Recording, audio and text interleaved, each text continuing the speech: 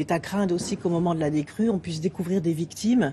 Et donc tout ce travail ensuite de, reconstruction va être lent. C'est pourquoi euh, je souhaite que l'on puisse accélérer les indemnisations, les solidarités.